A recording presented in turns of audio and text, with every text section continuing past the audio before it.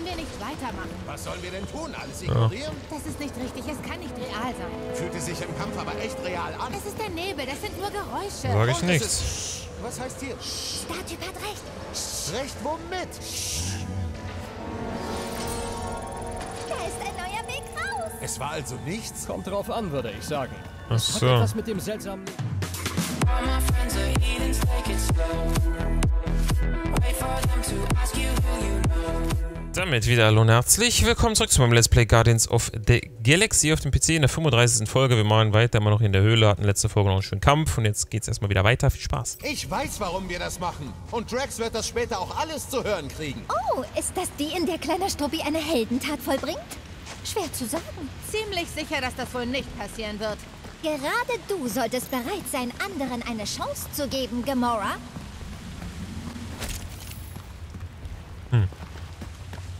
Ja, schauen wir mal weiter. Die Höhle scheint endlos zu sein. Leute, Ich weiß, kleiner Struppi, und es ist der einzige Weg nach vorn.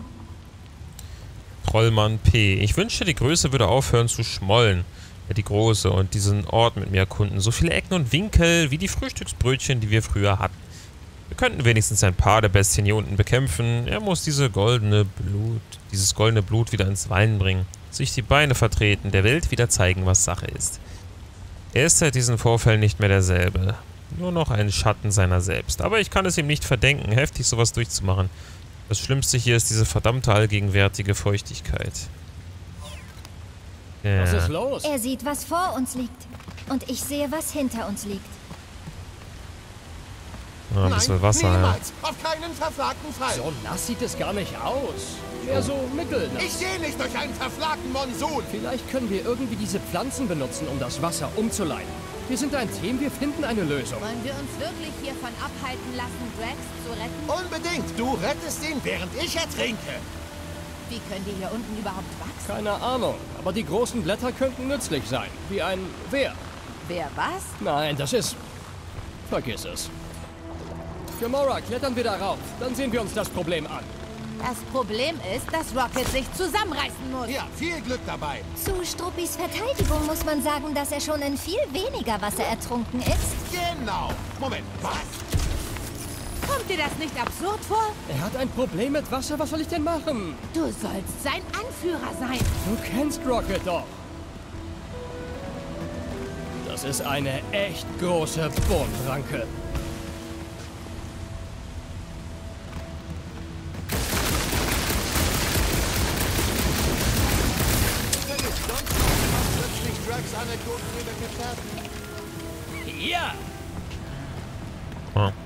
Aber noch was. Pflanze, Pflanze, keine Du-Pflanze. Und wir haben keine große Wahl. Ah. Mantis, gibt es auch Realitäten, in denen wir Rocket einfach zurücklassen?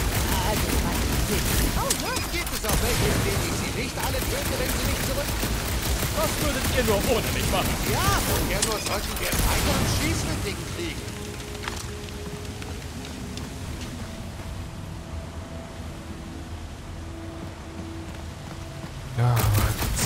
Kriege ich nicht weg. Ganz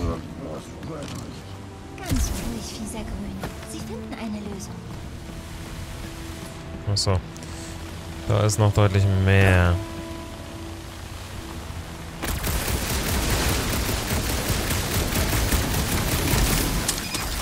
Fürchtet den allmächtigen Starlord. hast du was gesagt? Äh, nein. Ins schwarze was?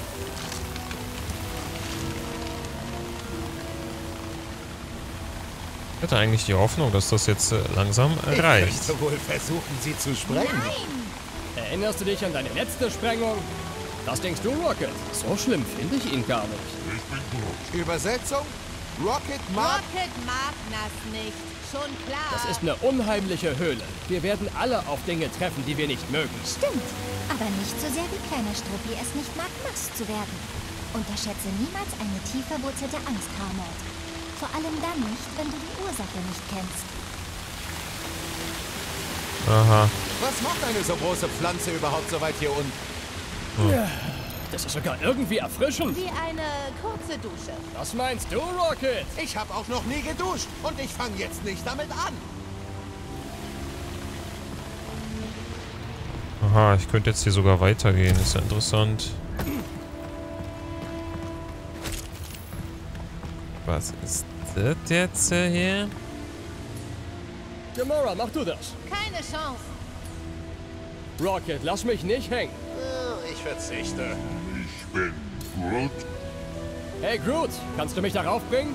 Ah, Er ist unterwegs. Sag ihm nur wie hoch. Etwa da.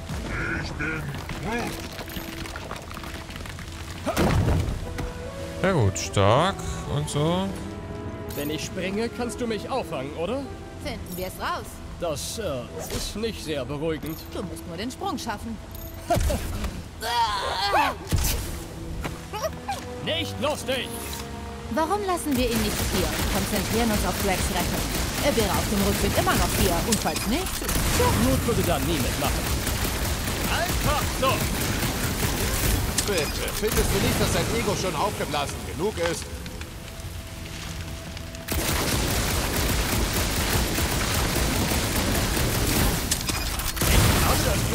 So schicken Knarren hast, Rocket. Mach so weiter, dann klaue ich sie dir im Schlaf. Ja. Bild dir mal nicht zu viel ein, du.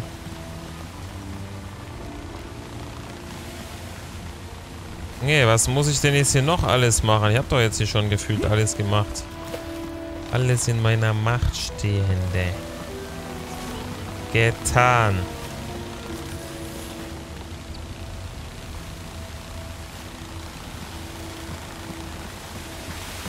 Oder habe ich hier unten noch was übersehen? Nein, das geht sie nichts an. Was gibt's da zu verstehen? Ich ertrinke einfach nicht gern. Das ist doch jetzt nicht.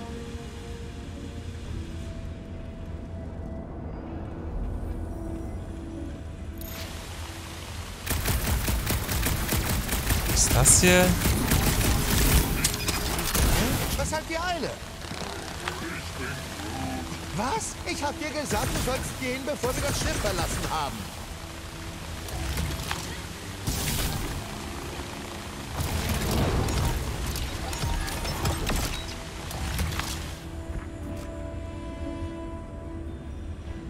Mehr ist hier doch nicht.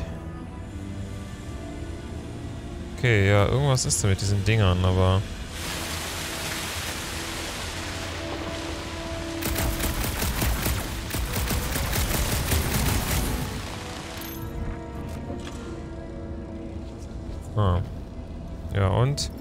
Loser Abschnitt kann mit genügend Kraft entfernt werden. Oh. Okay, nö. Nö. Ah, Zur Hälfte. Komm schon, jetzt ist es 50% weniger nass. Ich bin 0% interessiert. Okay, weiter geht's. muss nah dran sein. Lass meinen Rocket ziehen! Ich bin Moses, sollen wir wissen, wer das ist? der das Meer geteilt hat. Oh, mit seinen Tentakeln, richtig? Was? Nein! Egal. Danke, Quill. Wirklich. Ich hätte schwören können, er hatte Tentakel. Na, was sagst du, Groot? Jetzt ist das ganze Team wieder vereint. Absolut. Ein trockener Rocket ist ein glücklicher Rocket. Ach, jetzt bist du glücklich? Oh ja, du solltest mal die dunkleren Versionen von Struppi sehen. Oder vielleicht besser nicht. Du solltest sie auf keinen Fall sehen. Kommt dir dieser enge Korridor bekannt vor, Mantis? Dass es Werbeanrufe, Alter, lass mich in Ich Ruhe. das war gerade der nasse Teil. Oh, es wird noch schlimmer. Viel schlimmer. Leute. Wer ist das da?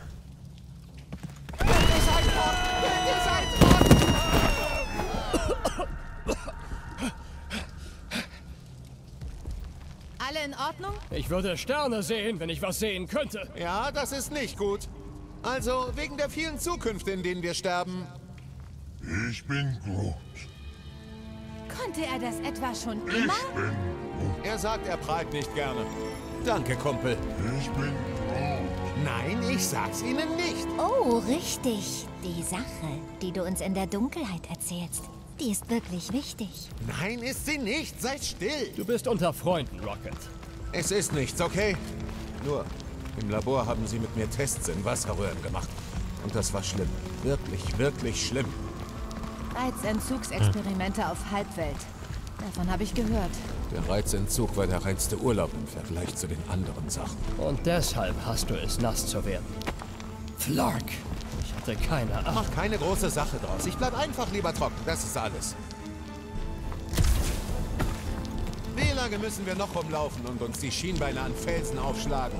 Betrachte das Ganze als Metapher. Du bist in physischer Dunkelheit und das spiegelt den Geist des Wiesengrün wider. Ich bin Groot. Wir können über Groots Weg zurückkehren und dann versuchen, den Ausgang zu finden. Ich bin Groot. Groot sagt, ihr sollt in seiner Nähe bleiben. Dann könnt ihr zumindest was sehen. Ja gut, aber wo soll ich jetzt hier lang, hallo?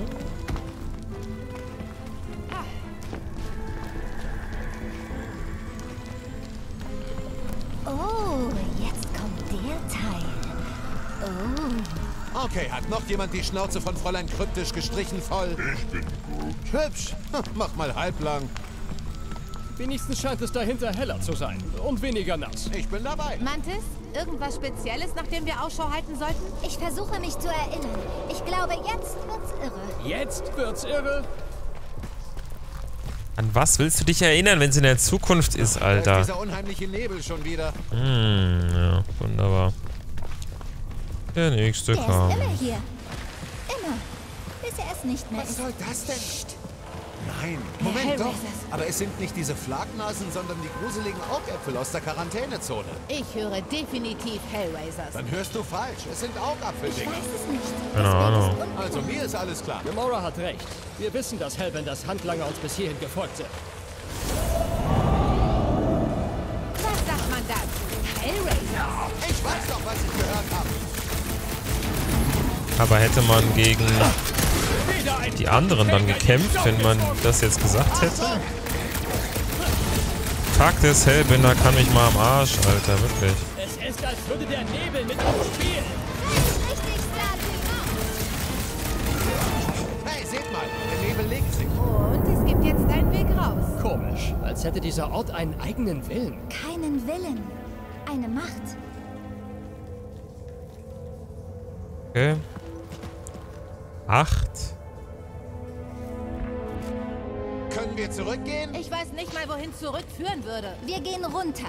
Immer runter. Hat sonst noch jemand ein Déjà-vu? In diesem Nebel sieht alles gleich Aber aus. es klingt nicht gleich. Das sind diese Gala-Dinger von Seknach. Das erklärt Dickerchens Cousin. Nein, es ist das Nova-Chor.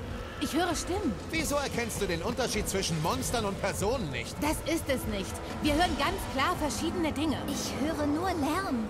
Es sind definitiv die Gallats von Sekna. Ich höre, wie sie ihre Stacheln verschießen. Ah, das wollte ich jetzt eigentlich nicht, aber... Hey, ich hatte auch recht.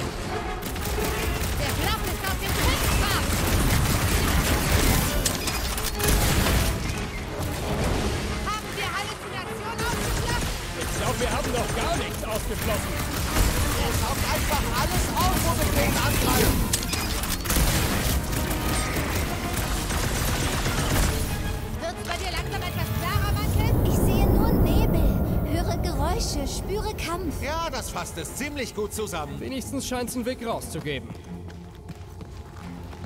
Das ist jetzt immer wieder neu. Was ist das denn hier?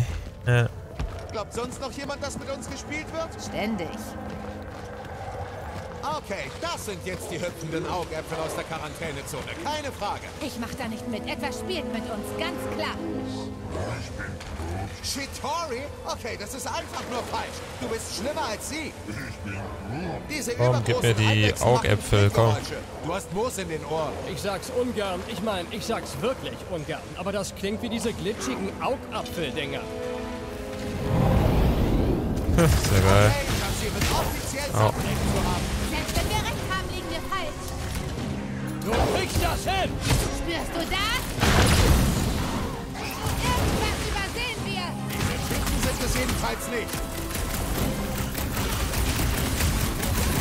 Tut mir leid! Wie tief geht das runter? Es ist endlos. Oder nicht. Der Nebel ruft und wir antworten. Ja, aber... Was kann ich denn jetzt anders machen? Wir übersehen etwas. Ein vernebeltes Geheimnis. Ein Geheimnis mit Kämpfen. Drax würde es lieben. Ja, aber was kann ich jetzt anders machen? Guck mal, hier ist ja nichts mehr. Ich komme immer in die gleiche Höhle.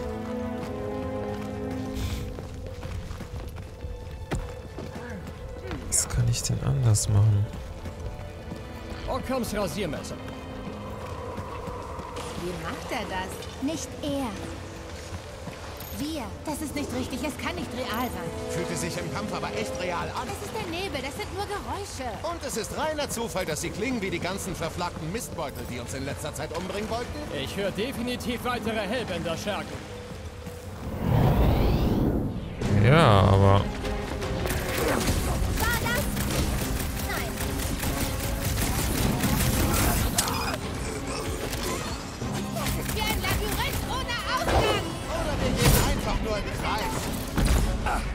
Verschafft uns Zeit, Crew! Gesichtslose Gegner, die zerplatzen wie im Comic. Ja, zeig's ihnen, Quill.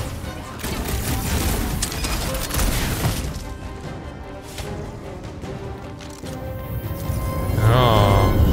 Ich habe jetzt ehrlich gesagt nicht den, den Plan. Was ich da jetzt anders machen soll.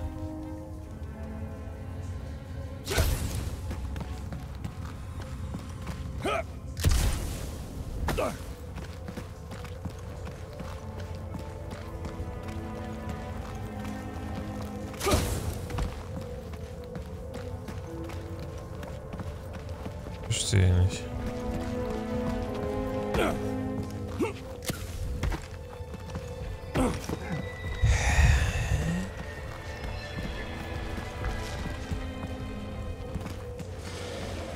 So können wir nicht weitermachen. Was sollen wir denn tun? Alles ignorieren? Das ist nicht richtig. Es kann nicht real sein. Fühlte sich im Kampf aber echt real an. Es ist der Nebel. Das sind nur Geräusche. Sag ich nichts. ist- Was heißt hier? Startyp hat recht.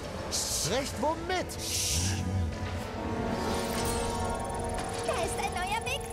Es war also nichts? Kommt drauf an, würde ich sagen.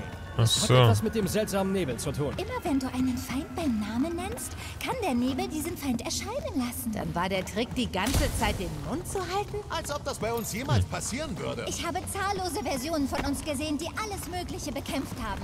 Aber die Quelle, sie ist noch nicht fertig mit uns, Wächter. Naja, dann halten wir eben die Augen offen und den Mund ab sofort geschlossen. Die Nebelwesenheit hat sich für den Moment zurückgezogen. Es besteht gerade keine Gefahr. Nichts für ungut, Käferlady, aber nichts, was du sagst, ist nur von Bedeutung. Dann ist der Nebel jetzt also eine Wesenheit? Ja, so ungefähr. Sei nicht frustriert, kleiner Struppi. Wir sind alle noch am Leben. Das ist super selten. Also, wenn ein Nebelmonster uns töten will, bedeutet das doch, dass wir uns dem Ziel nähern. Was auch immer es sein mag. Das klingt nicht unlogisch. Und wenn dieses Nebelmonster böse Dinge erscheinen lassen kann, funktioniert vielleicht auch das Gegenteil. Wenn wir alle sagen Heilung für Drax, passiert genau das, wonach wir die ganze Zeit suchen. Schön wär's, Startyp. Aber nein. Endlich gibt sie mal eine klare Antwort. Star-Typ, Alter. Es fällt dir so schwer, den Namen richtig auszusprechen. Weiter runter. wenn du Drax retten willst und die gesamte Galaxie. Ich komme auf dich zurück.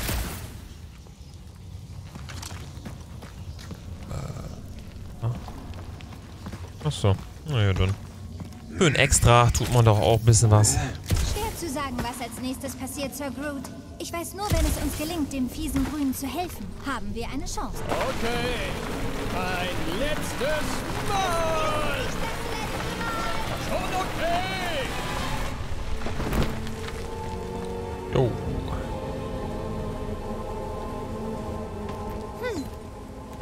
Hieran erinnere ich mich gar nicht. Okay, okay, hört mal, ähm, Leute, ähm, ich weiß wirklich zu schätzen, was ihr alle für mich getan habt mit dem Wasser und so. Ähm, aber der Käferlady noch weiter zu folgen, ist eindeutig bescheuert. Rocket, Nein. Nebelmonster? Höhlenschweine?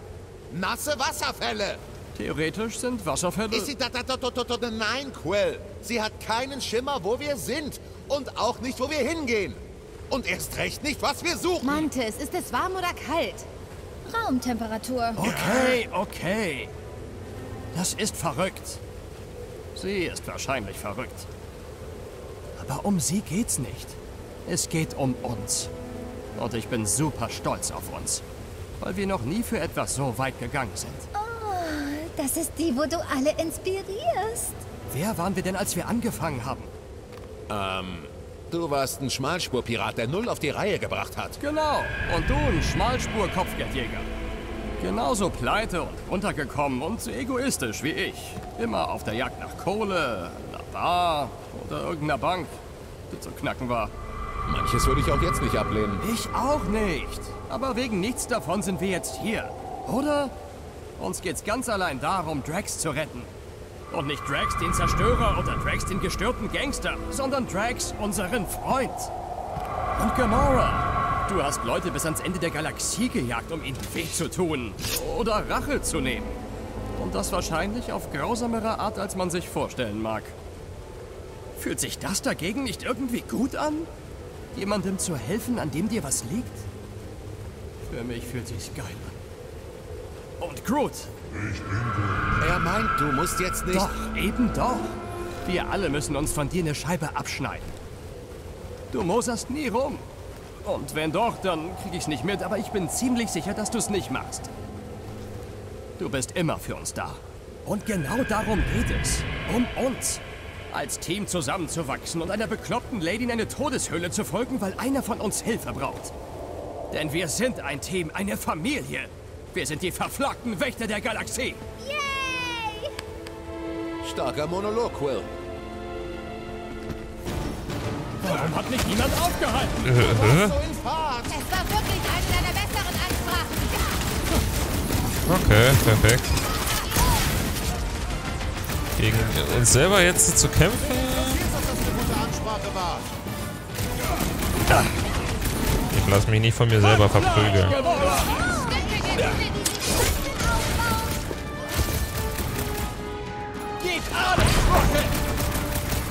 Schön mal wieder einen aktiven Drax zu sehen. Hinter die Statue, Statue.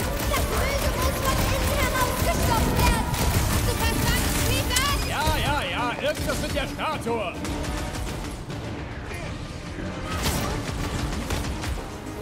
Diese Betrüger werden immer wieder kommen. Das ist dieser verdammte Nebel. Kleiner Struppi, jetzt ist der Zeitpunkt der Explosion. Wenn du willst, dass ich was hochjage, dann gib mir einen Zugangspunkt. Okay, die Dinger bringt nichts. Rocket! Wenn wir die Statue von innen heraus sprengen! Die Öffnung ist voller Wasser, Quill. Besorg mir einen anderen Zugang. Was jetzt, Peter? Eure Schatten-Ichs werden nie aufhören. Werden nie sterben. Bis ihr die Quelle tötet. Das riesige Gesicht, Peter. Ich bin gut. Ich weiß, aber ich weiß nicht wie. Und außerdem ist die Folge vorbei, Freunde. Ah. Rocket! Siehst du, was ich sehe? Ja, ja, da komme ich rein. Finde einen Weg, die Statue zu zerstören. Okay, dann jagen wir das Ding mal in die Luft. Ich weiß nicht, wie lange ich sie noch abwehren kann, Peter. Hex mich nicht.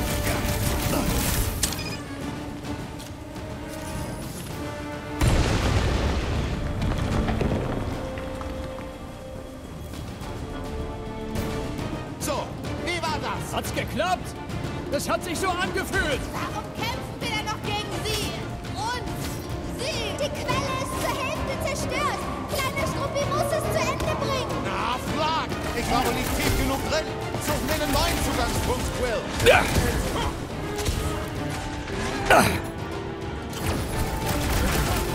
Können wir ihn nicht dazu bringen, dass er etwas Freundliches erschafft? Er würde nur die böse Version davon. Sag mal, hallo.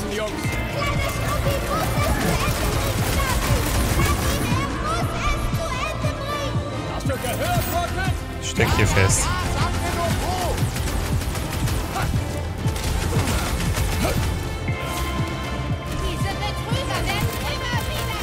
Mein Gott, ich komme ja hier nicht raus. Ey, so macht es wieder keinen Bock. Kein Bock, Alter. Wirklich nicht.